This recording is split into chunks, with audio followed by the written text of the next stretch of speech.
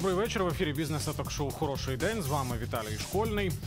Українці сьогодні, затамувавши подих, стежили за крутим піке гривня. Національна валюта не просто дешевшала, вона мчала у прірву. Видихнути з полегшенням не вдалося. На міжбанку максимально правили за зелений 13,70, а закрився долар по 13,60.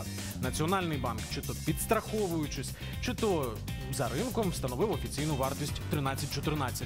Такого ми ще не бачили.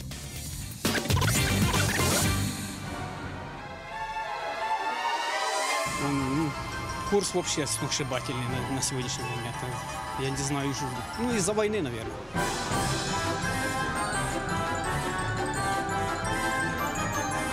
Это показатель состояния страны. Меня устраивает. Устраивает. А, вы, вы продаете валюты, вас устраивает. Да.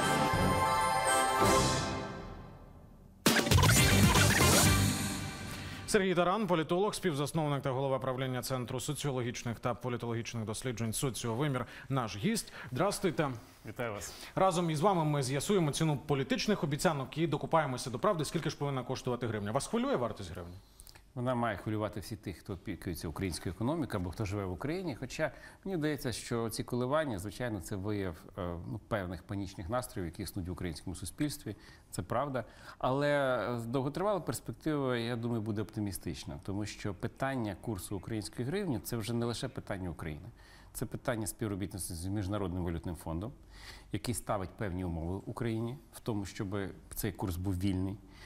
Але це ще питання багатьох інших програм, які, зокрема, йдуть з нам з міжнародної фінансової допомоги, які мають виконуватись. І тому це вже не є питання лише українського уряду. А раз так, то довготривалі прогнози швидше оптимістичні, тому що даючи сюди гроші, міжнародний валютний фонд очікує те, що тут буде економіка, принаймні у фіскальній сфері, буде стабільною. Ми офіційних людей послухаємо трохи зу. А як от ви е, живете в Києві? Ви і йшли до нас, бачили з десяток банків. Як жити із таким курсом? Як на нього реагувати треба? Спокійно, тому що найгірше, що може статися, це паніка.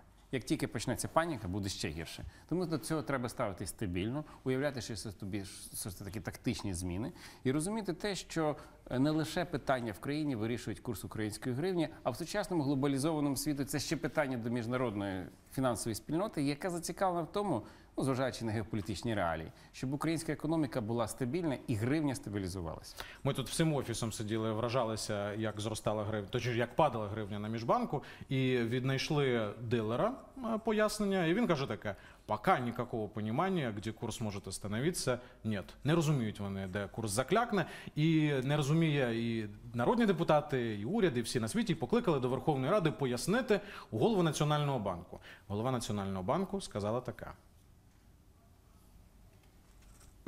Всім зрозуміло, що ніяких економічних чинників для курсу 13 або 13,50 не існують. Це цілком панічні настрої серед населення та представників бізнесу. Пов'язані вони з об'єктивними факторами, які я вже навела. Так що це наша реальність. Тому, якщо тільки ринкові механізми, які сьогодні використовує Національний банк, не спрацюють, то Національний банк запропонує ринку довольно жорсткі адміністративні міри на час дії антитерористичної е, операції. Але я, як голова Національного банку, щиро підтримую ринкові кроки.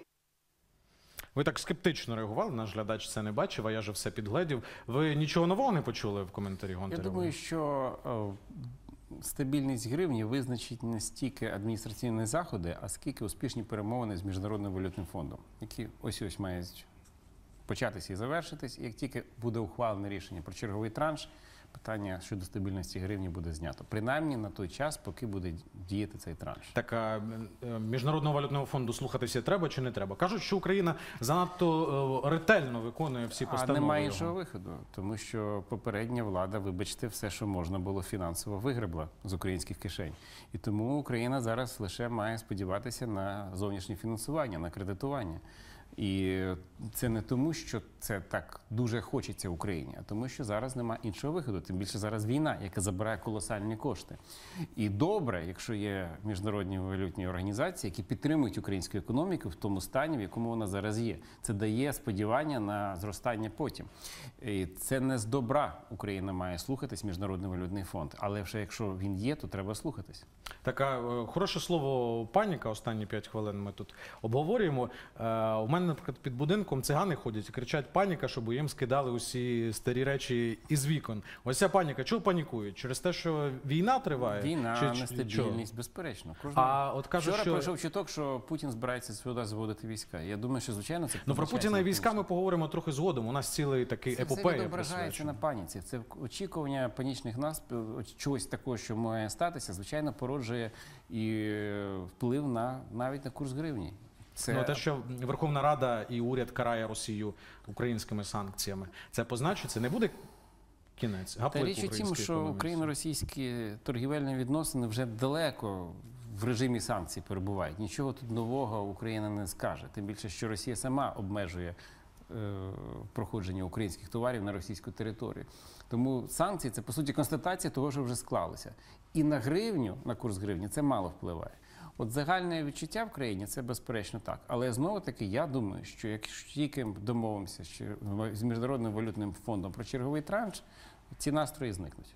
А у вас яке відчуття? Є межа дорожчання гривні чи Е, немає? межі? Можливо, трошки, і це буде ну таке сезонне коливання, тому що зараз е, підстав для зростання української економіки просто немає. Є лише надія на стабілізацію. А зростання точно немає. Ну вам як громадянину все одно. Ви як бачите, Ну, от як напередодні 3.10, а сьогодні 3.60, ой, 13.10, а сьогодні 13.60. Ну, звичайно, мені як громадянину це не байдуже. Тому як громадянин я розумію, що поширення панічних настроїв лише погіршує ситуацію. У нас е, голова Національного банку виступала у парламенті. Парламент був сьогодні головним ньюзмейкером подій. Ми покажемо, що ж саме понаухвалювали депутати.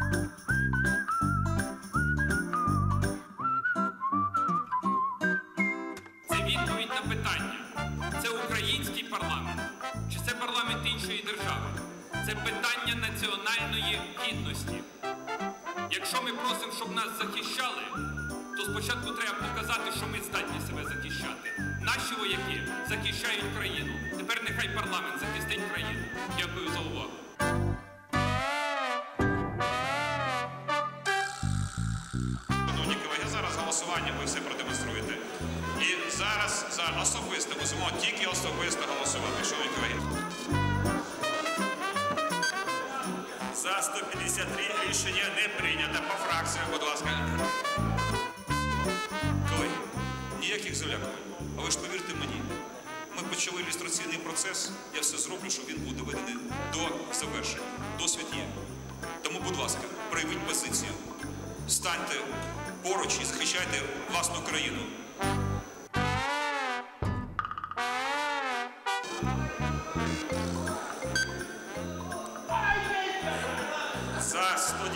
192 по фракціям, будь ласка. Суверенна Європейська Україна 2, 35 Свобода, 37 позафракційні.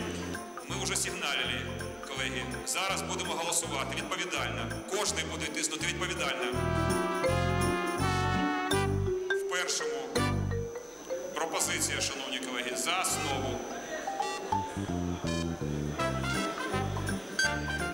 За 243. Дякую. Рішення прийнято. По фракціям, будь ласка. Батьківщина 76, партія регіонів 0.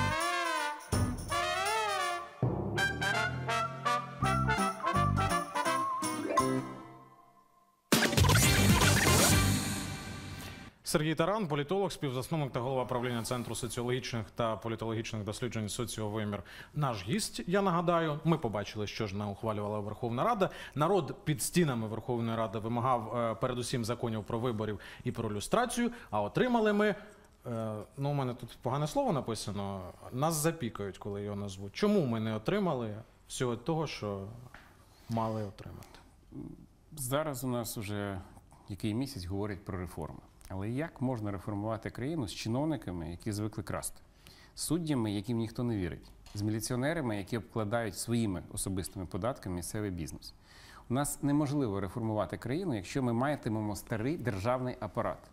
І тому будь-які реформи в будь-якій країні починалися завжди з реформи державного апарату. Якщо це відбувалося після зміни режиму, це називалося словом люстрація. Це означає, що старий корумпований, неефективний державний апарат очищали, залишався менший апарат. Чиновники там отримали більшу зарплату, але він був менший, але він був ефективніший. Якщо ми подивимося на успішний досвід Східної Європи, там завжди проходила достатньо ефективна ілюстрація в більшій чи меншій формі. А там, де вона не відбувалася, як в Україні свого часу, і як зараз вона не відбувається, то і реформи неможливо зробити. Ну це біблейське. Ну неможливо дивіться, вона наливати відбулася молоде сьогодні. вино в старі бурдюки. От в Україні намагаються налити Старі бурдюки? Е, Позаливати бурдюки, олією гарячою, так? Їх посадити в діжки і олією залити всіх депутатів. І Ну, міліціонерів, і прокурорів. і Всього у лише навсього треба провести очищення влади, перевірити чиновників за кількома критеріями: Е, причетність до корупції, спосіб, от, щоб чиновник чітко пояснив, звідки в нього майно. Е, І причетність до тих е, політичних структур, які призвели нас до диктатури або до сепаратизму. Якщо цього не буде зроблено, то реформи не відбудуться. От, наприклад, найуспішніший, найуспішніший приклад ілюстрації був у Чехії, який провів Вацлав Гавел. Він зробив достатньо радикальний. Він всіх чиновників, що були пов'язані з комуністичним режимом, включно з спецслужбами, звільнив і на їх місце набрав нових. Йому завжди дорікали після цього. Кажуть, от ти звільнив всіх чиновників, привів недосвідчених, які нічого не вміють робити. Вони в тебе будуть два роки тут помилками тільки займатися. Що він відповів? Він відповів, хай краще ті роблять два роки помилки, ніж ті, що я звільнив, будуть займатися 50 років саботажем. От зараз ті чиновники, що у нас, вони займаються саботажем реформ. Ми зараз в Україні всі говоримо про реформи, але реформ реальних не бачимо. Ілюстрація це надзвичайно важливий перший крок. Ну, дивіться, Верховна- парадоксальна річ, що про Чехію, що цього року вперше комуністи в Європі виграли парламентські Ну, вибори. це, виграли вони це не в ті комуністи, це не ті комуністи, це вже пройшло ціле покоління. Вони вже забули, що таке комунізм, бо інакше ніхто там нічого не виграв. Так. Але тоді, коли треба було позбутися комуністичному режиму і провести ефективні реформи, а в Чехії вони були найефективніші, то потрібна була люстрація. Але проблема полягає в тому, що ті зараз депутати, які в Верховній Раді, вони розуміють, що можливо люстрація торкнеться когось з них або тих людей, яких вони лобіюють в міністерствах і відомствах. І тому вони дуже скептично ставляться до Ну, Оце очищення влади е, за розкладом, за словами Турчинова, призначене на четвер. Депутати два тижні відпочивали, мали сьогодні е, піти знову на відпочинок і 1 вересня повернутися, але схоже, вони будуть четвер. Ви вірите про те, що в четвер це ухвалиться? Я Чи дреном гнати? я вірю те, що люстрація в країні все одно буде. Питання полягатиме в тому, яким способом. А який варіант? краще, Які от варіанти? краще, краще, якщо вона буде в той законний спосіб, через ухвалення закону, через чітке розуміння, за якими критеріями чиновників мають люструвати, хто має люструвати, що має бути в результаті, який апарат ми отримаємо в кінці. Оце має бути по закону. Е, оскільки зараз очікування в суспільстві достатньо високе щодо влади, а реформ не відбувається, то люстрація може відбуватися іншим способом. І дуже не хотілося б, щоб вона відбувалася в інший спосіб, ніж як ухвалення, зокрема в четвер, цього законопроекту у вигляді закону. Це напевно, що буде зроблено, тому що інші шляхи вони достатньо небезпечні для країни. От примітна річ, е, сьогодні Верховну Раду вперше після Євромайдану, після революції, охороняли озброєні люди зі зброєю, з бойовою зброєю. Київ 2 Київ 1 я вже точно не знаю. Один із Київів цих загонів. Це що? Повернення до попередніх традицій? Чи готується розвернути ти е, і до другого варіанту люстрації? Та ні, це просто тому, що ті люди, які туди прийшли, це партія воля, люстраційний комітет, автомайдан. Багато е, активістів приїхали з регіонів. Вони туди приїхали не за гроші. Вони туди приїхали з дуже чіткою метою і розумінням того, що потрібно країні. Це люди ідейні і вмотивовані. І тому, о, крім того, що вони ідейні мотивовані, вони можуть гли дуже по-різному поставитись до того факту, що Верховна Рада не захоче голосувати за законопроект про люстрацію. Ну я. Я там сам був, я не бачив таких от перспектив, що був штурм Верховної Ради. Але я так розумію, що влада дуже боїться слова люстрація, як тільки вона чує аж е, це слово, як І тільки нова бачить теж, так? І нова, нова, так. нова, нова. Ти Це- самі, ти Річ самі. у тім, що люстрація вона ж не має перевіряти всіх просто за партійним принципом, а зокрема за пр- причетністю до корупції. А це проблема і нової старої влади. І це для кого не секрет. Тому влада, як тільки чує слово люстрація, вона одразу кличе міліцію, всі можливі правоохоронні органи. І це дуже небезпечна гра. Це гра з вогнем. От краще буде цей ухвалений законопроект, і люстрація пройде по закону. Це лише принесе плюси країні, так як принесло величезні плюси тим країнам Східної Європи, де люстрація відбулась, і після цього почались успішні реформи. А те, що цілий квартал не парламент не ратифікує угоду про асоціацію, це теж гра з вогнем? Чи це політична гра? Чи що Це це політична гра. Я думаю, що це влада Хто з чим грається, розкажіть нам. Це отут це вже геополітична гра. Я думаю, що європейці мають ще якісь ілюзії, що можливо вдасться домовитись з Росією щодо. Е, Збереження нормальних торгівельних відносин з Україною у випадку ратифікації угоди про асоціацію, і тому очевидно, що українську владу попросили трошки не поспішати з цією ратифікацією, почекати, хоча б ну якийсь місяць. От ми цей місяць чекаємо. Ну сумнівів немає, що ратифікована буде угода про асоціацію. Ні в кого нема сумнівів. Так ми з власної волі чекаємо, чи це Євросоюз сказав? Це е, спільна ждіть? позиція, хоча б я думаю, я ну це не офіційна інформація, але в мене інтуїтивне враження, що ініціатива ця йде з Європи, тому що саме в Європі не полишають надій організувати перемовини прямі між Україною, Росією і Євросоюзом щодо цієї угоди. Е, Оскільки Росія вже давно не може впливати на те, що відбувається в українському парламенті, а в українському парламенті надзвичайно важливо ухвалити цю угоду про асоціацію, то єдине е, пояснення цьому це те, що очевидно очікуються оці три, три сторонні перемовини, і тому ми досі не ратифікували. Це не трагедія. Ми це ратифікуємо на кілька тижнів пізніше. Все одно Європа ще ратифікуватиме ще півроку, а то й рік. А те, що народні депутати, ми з Але- вами дивилися відео, ходять у футболках, е, вимагаємо ратифікувати. Це піаряться Але- безсоромно. Це, це ну це в піарі це добре, тому що все-таки не треба забувати, з чого почався недавній майдан. Від відмови Януковича підписати угоду про асоціацію. Тому це якраз е, те, е, це, той- той випадок, коли та? слово піар е, воно дуже позитивно звучить. То це добре, що вони таким чином піаряться. Я думаю, що буде угода ратифікована, але ще певно якісь існують ілюзії в європейців, що можна домовитись з Путіним про більш-менш нормальний торгівельний режим між Україною і Росією. От є у нас якраз е, цікава річ про домовляння. Е, Перше, це заява е, заступника голови адміністрації президента Валерія Чалова про те, що угоду між Євросоюзом ратифікуємо не пізніше вересня. А друга цікава інсайдерська річ. Е, Інтерфакс це називає за джерелами у Європейському Союзі, що спочатку мають відбутися перед ратифікацією консультації в Москві Ну, я на рівні кажу. заступників е, міністрів закордонних справ. А потім ті самі консультації мають відбутися в Україні. А не запізно з Москвою проводити такі Та консультації? звичайно запізно. Ну, європейці вони живуть уже багато років в мирі і злагоді. І вони вважають, що поганий мир завжди краще, ніж хороша війна. І тому у них завжди є надія і сподівання, що з Росією можна про щось домовитись. І вони сподіваються, що сам факт наявності цих прямих консультацій між Україною і Росією зможуть покращити стосунки. Ну суто теоретично це так і має бути. Ну, якщо країни домовляються між собою, визнають як мінімум одна одну, то це напевно, що вони не воюватимуть. Ну такі теоретичні сподівання. Просто ми маємо дуже непередбачуваного сусіда, але теоретично європейці по-своєму праві. Ми просто маємо до цього ну так філософськи ставитись, з розумінням ставитись. Вони наші партнери.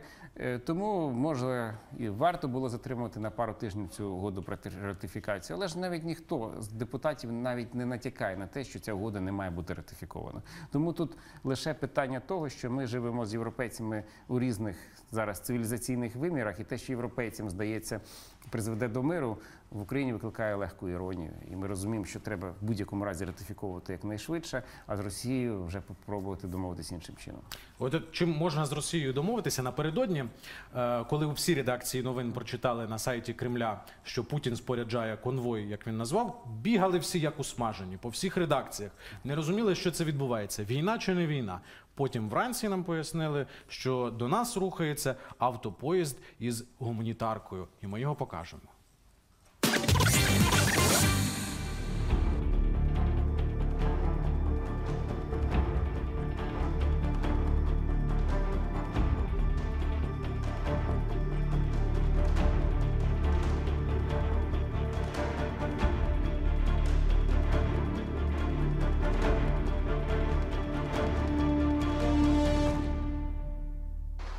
С осторожным оптимизмом могу сегодня сказать, что, по-моему, все уже возможные и невозможные э, предлоги э, были сняты.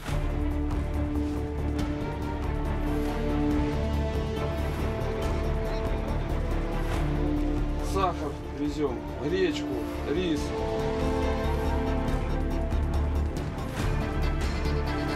Мы согласовали э, все детали с руководством Украины. Надеюсь, западные партнеры не будут вставлять палки в колеса.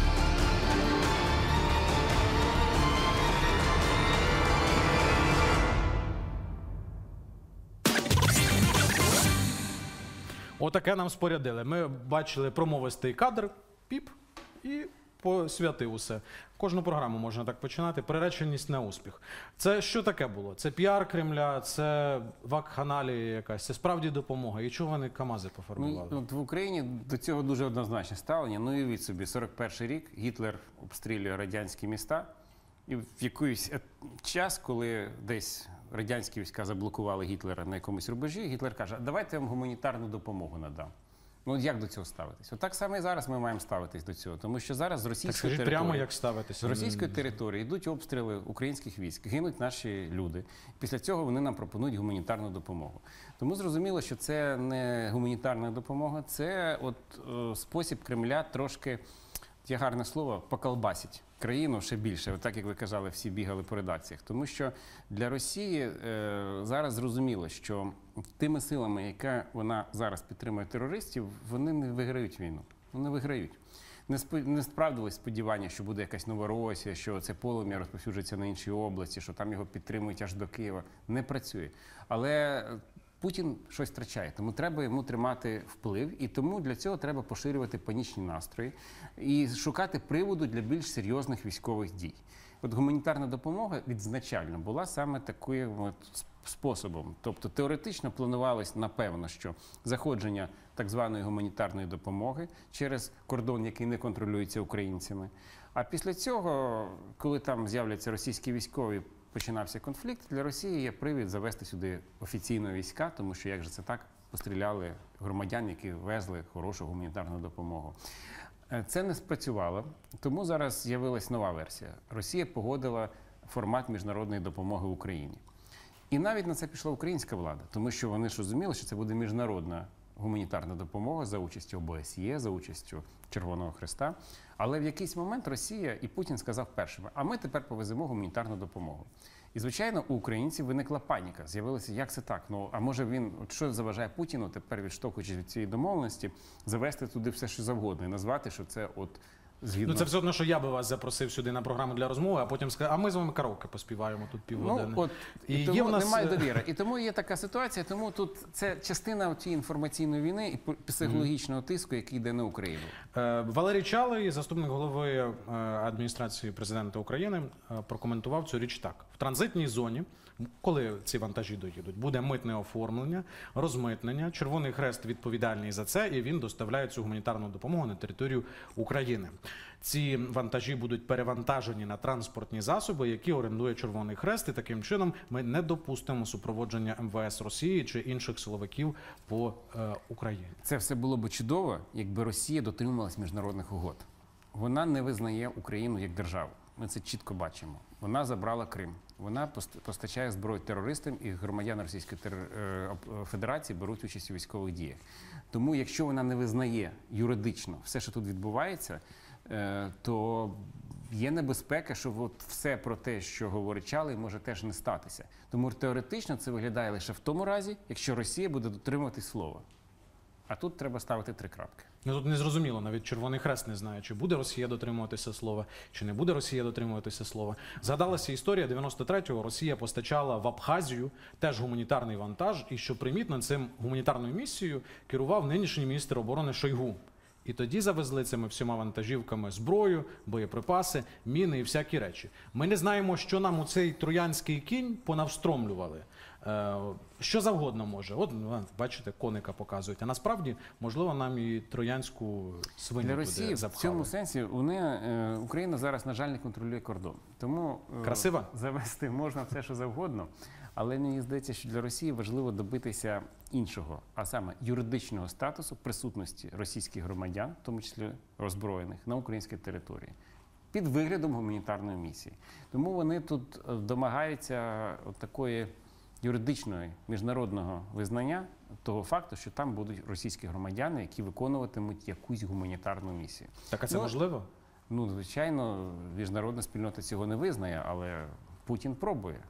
Путін пробує. Ну і ще ну, основна версія залишається. Це сподівання на провокацію. Сподівання те, що українські силовики відкриють вогонь по несанкціонованому перетину кордонів з боку Російської Федерації. Це дасть привід для Росії для більш масштабного вторгнення. Сподіваємося, в цього вторгнення не буде, оскільки напередодні, коли прочитали всі, смс завалили мене. Чи буде Я вторгнення хочу вас- Росії, чи не я вас хочу- підозрюють більше. Я хочу вас заспокоїти в тому сенсі, що вторгнення в Україну абсолютно безперспективне для Росії. Ну, подивіться, ну боєздатне російське військо це ну, 1100. Ну так, якщо відверто, разом з кухарями. 1100 це ну, приблизно от скільки людей поміститься на половині Київського майдану. Чи можна такою кількістю військових тримати країну? Неможливо, і ми не дамо. Ми мусимо вже переходити до наступних проєктів на каналі Бізнес. Сергій Таран, політолог, співзасновник та голова правління е, Центру соціологічних та політологічних досліджень соціовимір, був нашим гостем. Дякую вам за цей ефір. Хороший день. Завершуємо хорошими новинами. У Києві скоро закінчиться новий рік. Міський голова пообіцяв розібрати і прибрати із майдану Яленко. Редакція бізнесу пропонує спакувати кривавий символ режиму і надіслати гуманітарним гостинцем в Росію. Нам час починати новий календар, а сусідам прощатися зі своїми тиранами. Чекаємо приголомшливої заяви Вітальчика Кличка.